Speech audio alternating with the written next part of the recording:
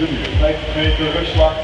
En in het water de zilveren en bronzen medaille winnaar van 2017. En de koppering zilver Ruud Nijland won daar brons. En in het water Kenzo Simons en hij gaat deze afstand zijn op de Europese juniorenkampioenschappen. Uh, eh, op een andere halve week in Helsinki.